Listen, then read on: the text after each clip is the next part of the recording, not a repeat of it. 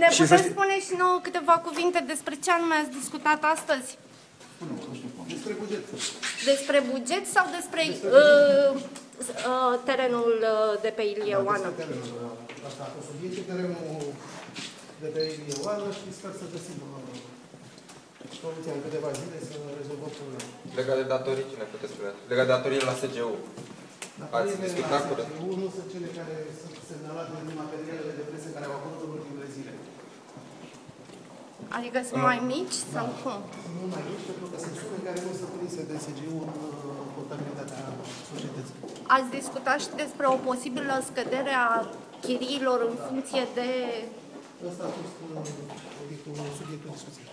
De când ați intrat în insolvență, ați plătit uh, chiria către SGU? Da.